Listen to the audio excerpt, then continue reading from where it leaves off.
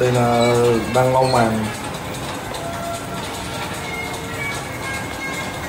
ra màn hình xong rồi đấy là mình ép vào đấy. đây lau màn này Đấy. còn đây là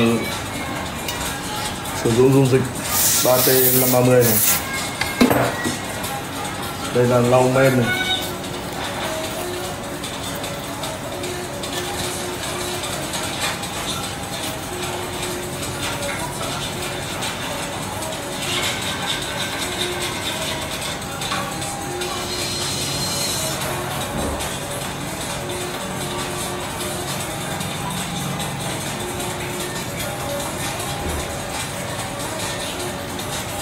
thế thế Thế mình phải cần chuẩn bị ờ, một cái khăn lau này.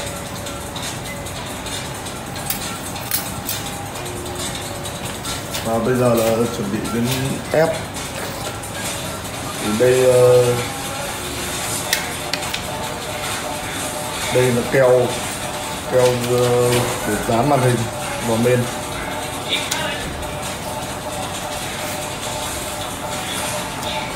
đây là con nan.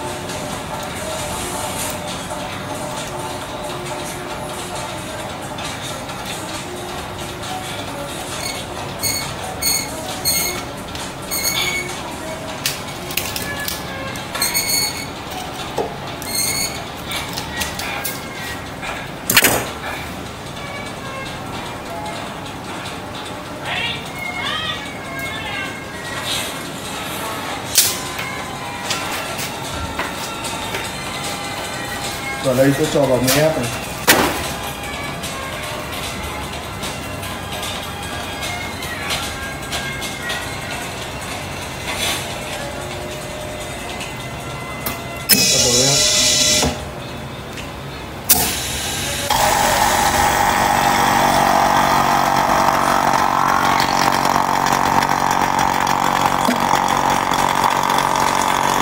Đây là 3T 530 là, là dùng rất là tốt cho màn hình điện thoại Mình ép vậy có lâu thôi. này khoảng 3 phút Ok, trong quá trình 3 phút là thành công.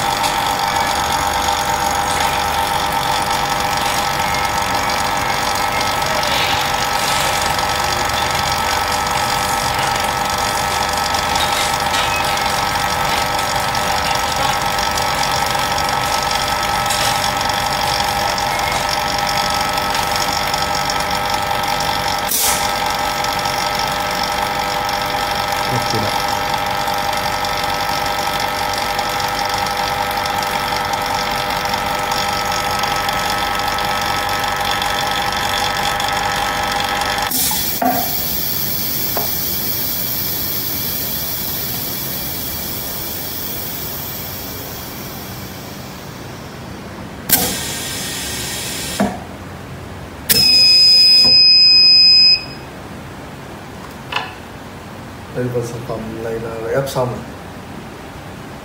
ok Ok.